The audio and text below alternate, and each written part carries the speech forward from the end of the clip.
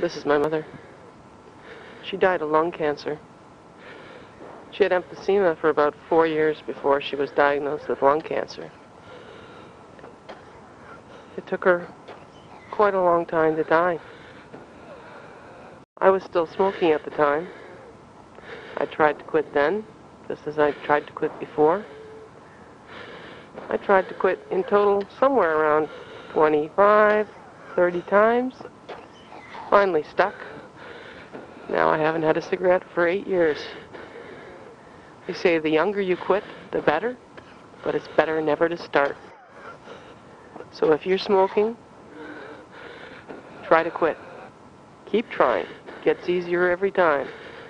And one of those times, hopefully it'll stick. I hope you can quit.